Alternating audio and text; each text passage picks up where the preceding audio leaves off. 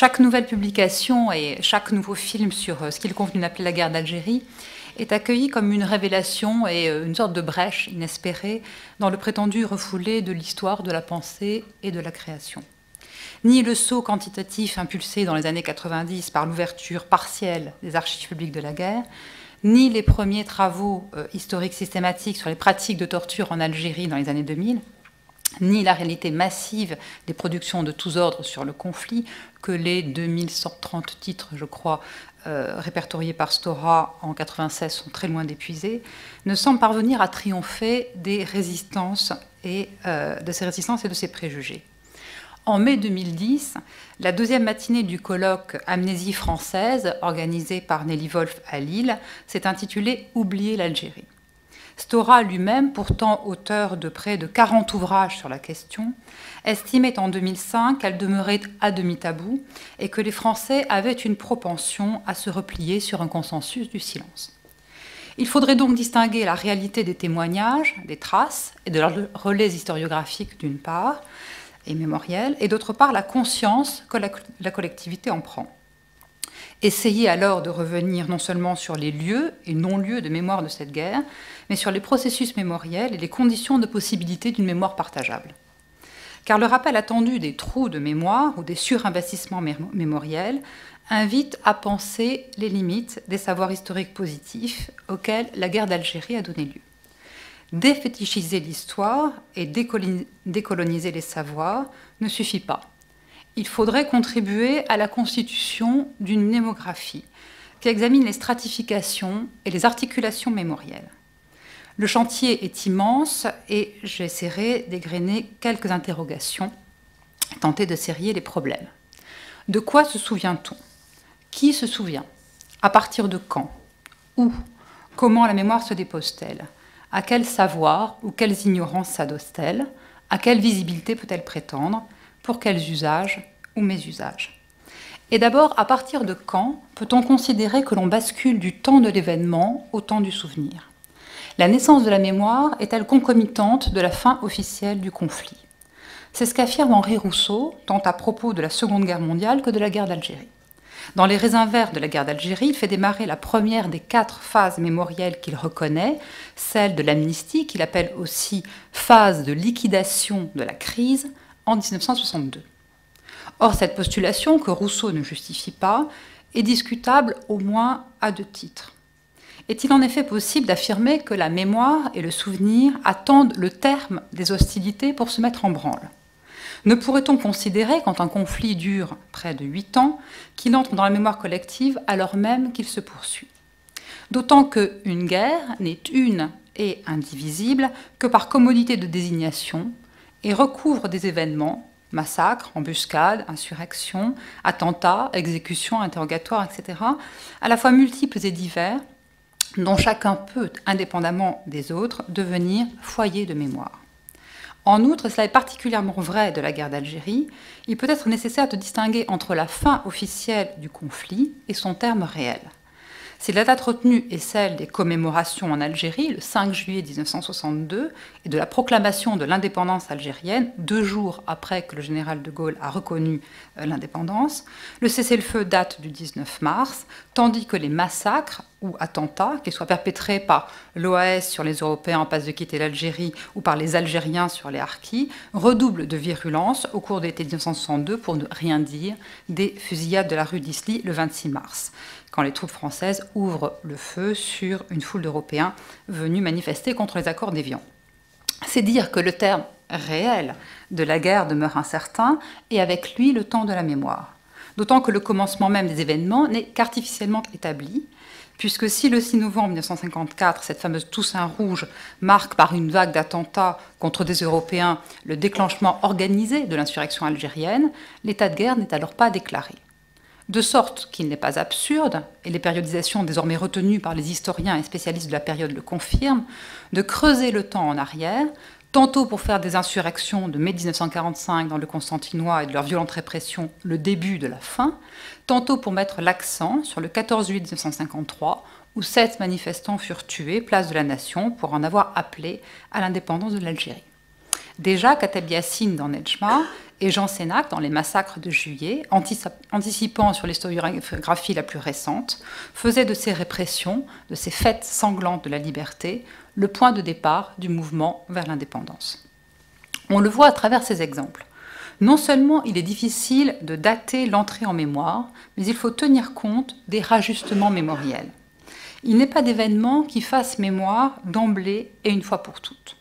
La répression policière du 17 octobre 1961, aujourd'hui documentée, et dont souvenir est entretenu par le collectif 17 octobre 1961, qui réunit les associations 17 octobre 1961 contre l'oubli, au nom de la mémoire, de la Ligue des droits de l'homme et le MRAP, n'a ressurgi qu'en octobre 1980 avec un dossier établi par Georges Mattei euh, pour Libération, Mattei qui avait été témoin des ratonnades, puis les publications successives de Meurtres pour mémoire de Didier Daninx, euh, de Ratonnades d'octobre de Michel Lévy en 1985, La bataille de Paris par Jean-Luc Enodi en 1991 et Du silence du fleuve d'Anne Tristan la même année.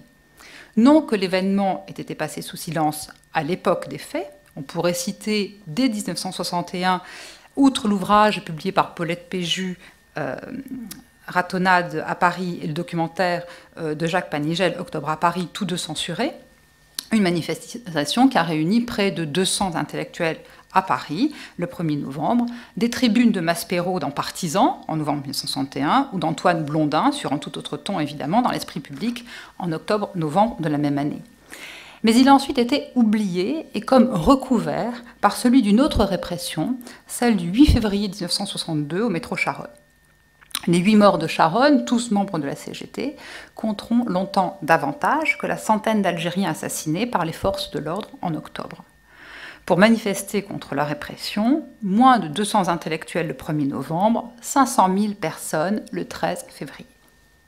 Mais si la solidarité militante a ses poids et ses mesures, la mémoire a ses revers. Le souvenir du 8 février n'a cessé de décroître en même temps que s'affaiblissait le PCF, alors que celui du 17 octobre n'a jamais été autant célébré qu'aujourd'hui. Rappelons que c'est le 17 octobre euh, dernier que le président François Hollande a souhaité reconnaître au nom de la République l'existence d'une sanglante répression en 1961, alors que des Algériens manifestaient pour le droit à l'indépendance et a voulu rendre hommage à la mémoire des victimes. C'est une citation. Depuis les années 1990, le procès de Maurice Papon d'abord, en 1997, établissant d'inévitables résonances entre la carrière du fonctionnaire sous l'occupation nazie et ses responsabilités à la préfecture de police de Paris pendant la guerre d'Algérie, puis l'essor d'initiatives mémorielles émanant d'associations antiracistes, et enfin la multiplication des œuvres prenant l'événement pour objet, ont contribué à faire du 7 octobre un lieu d'hypermnésie. Importe donc de ne pas aborder la mémoire de la guerre d'Algérie en bloc, mais de serrer les lieux de mémoire possibles, de préciser les variations des investissements et des investissements mémoriels dans le temps, de les contextualiser, d'indiquer l'identité des porteurs ou relais de mémoire. À l'évidence, les objets de célébration et les exigences mémorielles publiques diffèrent de part et d'autre de la Méditerranée. En France, les amnisties successives tentent, dès les accords d'Évian, en mars 1962, avant même l'indépendance, d'organiser la pacification, voire la dissolution des blessures de guerre. Dès le 22 mars, deux décrets prévoient l'amnistie des infractions commises au titre de l'insurrection algérienne et l'amnistie des faits commis dans le cadre des opérations de maintien de l'ordre dirigées contre l'insurrection algérienne. Mais les Français condamnés pour avoir aidé les Algériens ou avoir refusé de prendre part à la guerre restent en prison, en exil ou demeurent privés de leurs droits civiques. Le 21 décembre 1964 est votée la première loi d'amnistie concernant les événements d'Algérie. Elle dépénalise toutes les infractions commises en Algérie avant le 20 mars 1962 en vue de lutter contre l'insurrection algérienne, à l'exception de celles qui avaient pour but soit d'empêcher l'exercice de l'autorité de l'État, soit de substituer à cette autorité une autorité légale. Autant dire qu'il s'agit d'amnistier les défenseurs de l'Algérie française non engagés dans l'OS. Mais il faut attendre le 17 juin 1966 pour que les porteurs de valises, les insoumis et les déserteurs soient amnistiés. Et ce n'est que le 7 juin et le 24 juillet 1968, au lendemain des événements de mai et de la grève générale, que sont graciés les crimes de l'OS et amnistiés les infractions commises par les militaires félons, comme si l'État gaulliste ébranlé avait alors voulu marquer sa reconnaissance à ses ennemis de la veille pour le soutien fourni contre les ennemis du moment. Enfin est votée le 3 décembre 1982 la dernière des lois d'amnistie réintégrant dans l'armée les officiers généraux putschistes et permettant les révisions de carrière nécessaires à la perception de l'intégralité de leur retraite. L'argument du pardon, celui de la réconciliation, prévalent. Je cite Sortir enfin des, des grands déchirements intérieurs pour permettre l'apaisement national. Telle est la revendication du député Marcel Massot en 1964. François Mitterrand, en 1982, peut-être dans l'espoir de faire oublier ses propres responsabilités de garde des Sceaux pendant la bataille d'Alger, estime lui qu'il appartient désormais à la France de pardonner. L'implication de ces pardons légaux, successifs, amnisties et grâces est évidente. Il n'y aura ni procès et par suite débat public, ni jugement, les pièces du dossier demeurant pour une part essentielle enfouies dans des archives théoriquement rendues communicables au terme d'un délai de 60 ans la paix civile semble exiger que la démocratie se bâillonne. Côté algérien, au contraire, l'heure est à la frénésie commémorative. Benjamin Stora l'explique dans La gangrène et l'oubli. Pour les militaires algériens qui prennent le pouvoir en 1965, il s'agit de refaire l'histoire algérienne en faisant oublier l'absence de victoire par les armes en 1962.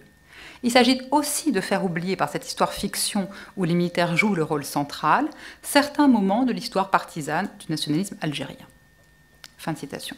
Sont ainsi éliminées l'intervention des masses paysannes en 1955, urbaines en décembre 60, le rôle de l'immigration et donc de la Fédération de France du FLN, et enfin la mise à profit des relations internationales pour gagner la guerre.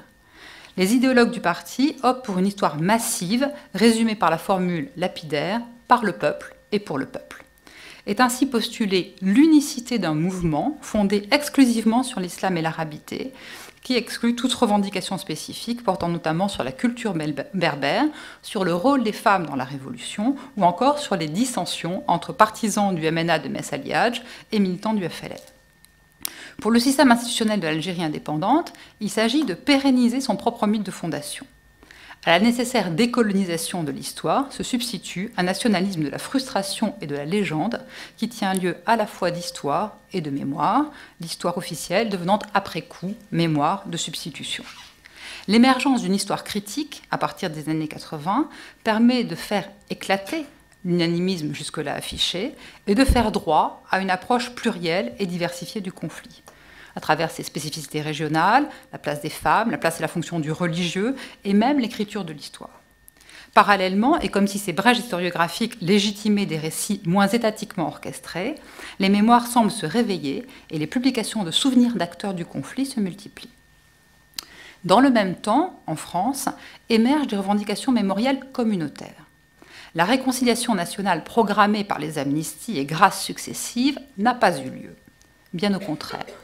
L'exclusion de la guerre d'Algérie, à laquelle on persiste à dénier son caractère de guerre de toute cérémonie commémorative officielle, et l'oubli délibéré de ses victimes, anciens combattants appelés harkis, européens d'Algérie, immigrés d'origine algérienne, ont pour effet de transformer ces diverses catégories de perdants de l'histoire en revendicateurs à la fois de mémoire et de reconnaissance. On sait combien les associations d'anciens combattants ont lutté pour que le conflit devienne officiellement une guerre en octobre 1999. On se souvient parfois que Jacques Chirac inaugura en décembre 2002 un mémorial national en faveur des soldats français morts en Algérie, au Maroc et en Tunisie.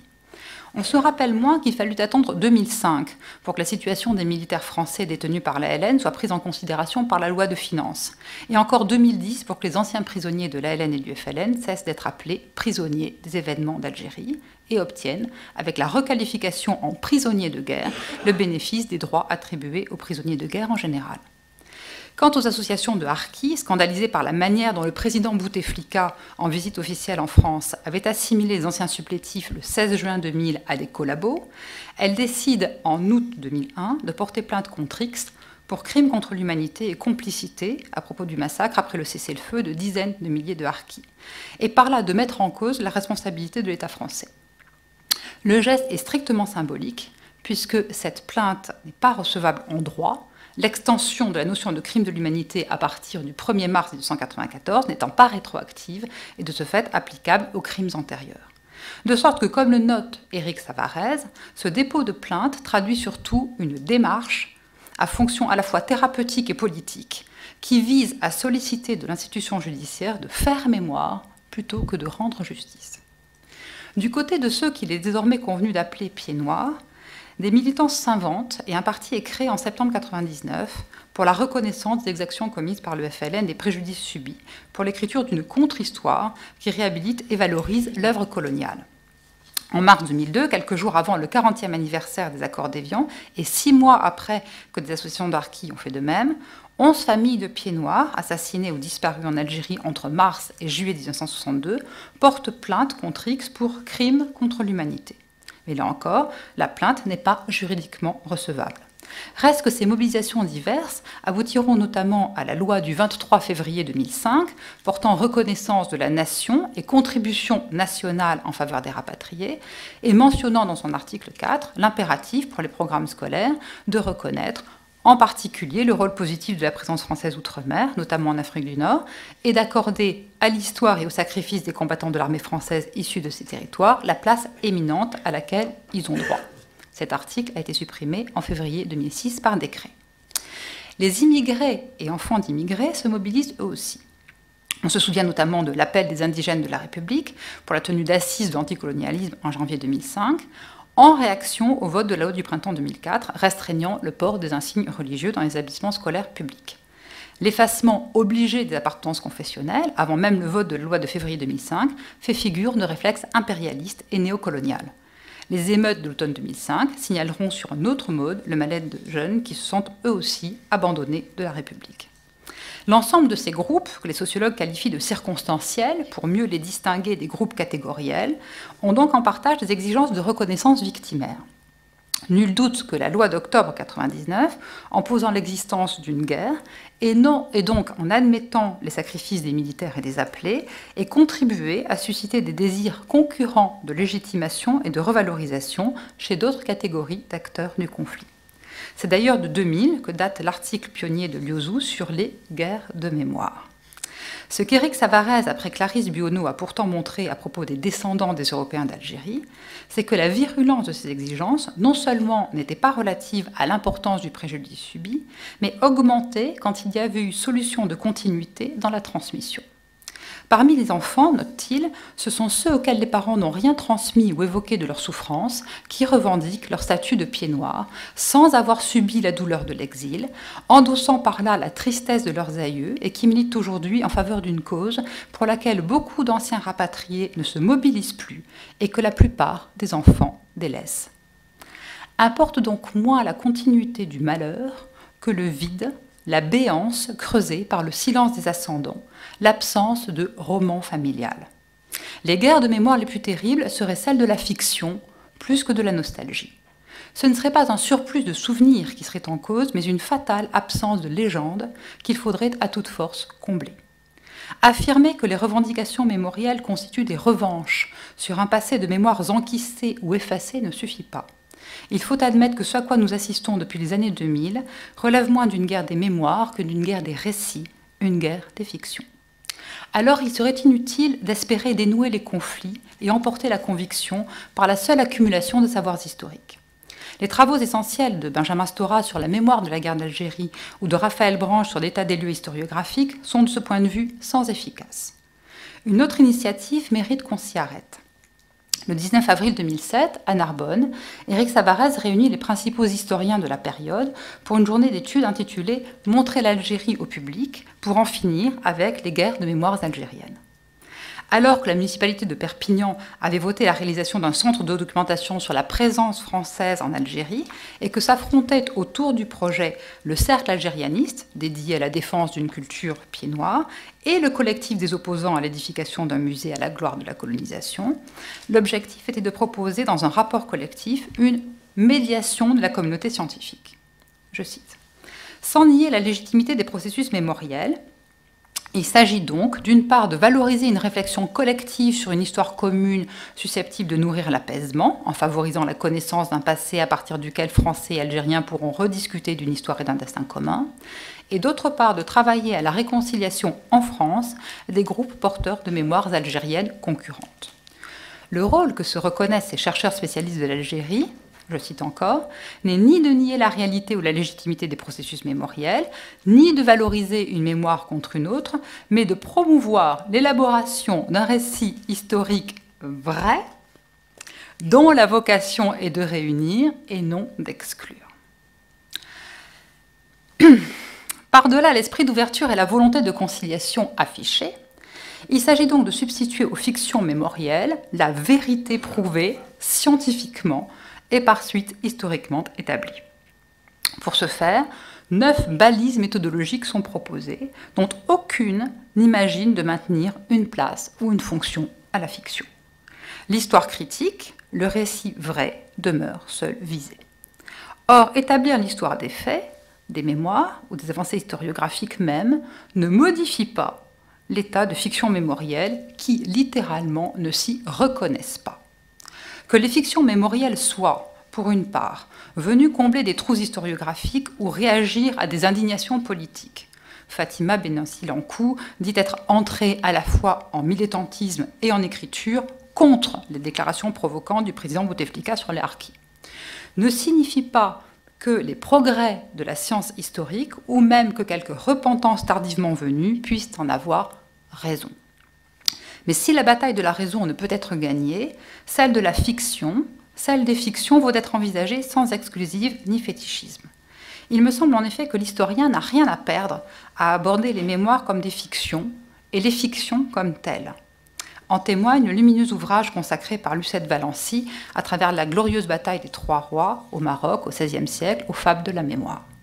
Et c'est probablement la limite du rapport élaboré par les historiens du collectif réuni à Narbonne que de ne pas imaginer d'autres disciplines pour aborder la guerre d'Algérie que l'histoire.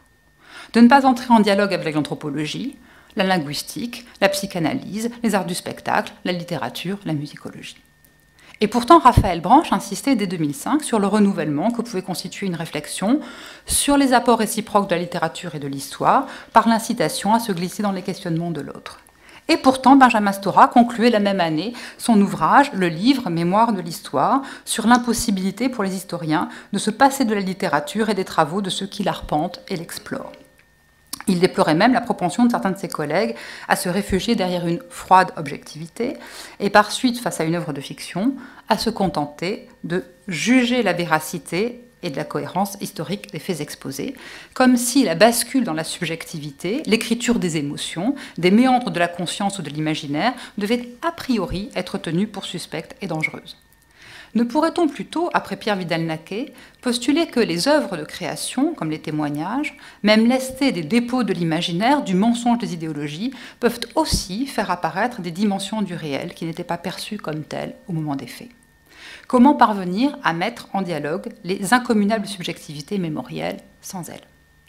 Ces considérations m'ont incité à concevoir un vaste projet ANR sur les représentations de la guerre d'Algérie de 1954 à 2010, Nejma, qui se proposait d'aborder le conflit à partir des représentations qu'il avait suscitées et qui en avait façonné en retour l'appréhension.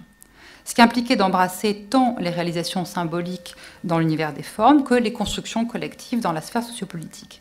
Il s'agissait de dresser un état des corpus et de savoir, puis d'analyser et cartographier les représentations pour les réinscrire dans leur histoire et dans notre présent, de constituer ainsi un socle de connaissances à partir duquel il deviendrait possible de décrypter les processus mémoriels. Le présupposé, on l'aura compris, est que les fables de la mémoire ne peuvent être perçues ou analysées frontalement. Les approcher exigent un travail préalable de croisement des expertises et des regards. Parce que les corpus, majoritairement francophones, sont aussi arabophones et berbérophones, parce que les représentations du conflit s'illustrent aussi bien dans la littérature que dans les mémoires, les correspondances, les revues, les arts de l'image, l'édition, la presse, les bandes dessinées, les chansons, les sources orales, les contributions doivent être donc disciplinaires et internationales, de manière à déjouer les logocentrismes euh, herméneutiques ou nationaux. La constitution d'un tel réseau d'expertise visait à tenter de penser à la fois les, intertextualités au sens large et euh, les logiques de spécification. Que le projet ait été retoqué en raison de sa démesure et de l'excès de ses ambitions n'exclut pas qu'il vaille d'être conduit. D'ores et déjà, plusieurs de ces propositions ont été euh, réalisées. L'exposition Engagement et déchirement les intellectuels de la guerre d'Algérie qui a été montrée à l'IMEC euh, de juin à octobre dernier à Caen, dont j'étais commissaire avec Olivier Ponel-Cassagne, et le livre euh, éponyme publié par Gallimard ont fait émerger des archives nouvelles pour l'étude de cette période à côté des titres de presse, des revues, des ouvrages rares et souvent épuisés au clandestin, de très nombreux manuscrits d'écrivains, d'essayistes ou de philosophes, des manuscrits d'œuvres, d'articles, de correspondances, ont manifesté sur pièce à la fois la diversité, la précocité et la force des positions prises, comme l'impossibilité de dissocier les formes de l'engagement politique de leur formulation. Plus récemment encore, en décembre dernier, le colloque euh, que j'ai organisé, La guerre d'Algérie, une guerre comme les autres, a invité anthropologues, linguistes, littéraires, historiens, politistes et spécialistes de la communication à mettre en résonance ce conflit avec d'autres, antérieurs ou postérieurs, et à penser la diversité de ces désignations et leurs attendus. C'est dire que le croisement des disciplines, des regards et des corpus peut dépasser le stade des vœux pieux infiniment réitérés et devrait se poursuivre. Je ne mentionnerai que deux des chantiers programmés.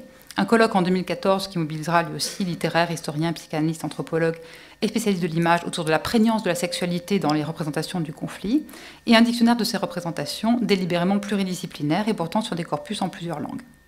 Gageons qui contribueront à rendre possible, outre ces récits compatibles capables de s'affronter et de se parler face à face, que Lucette Valency appelait de ses voeux, des mémoires compatibles.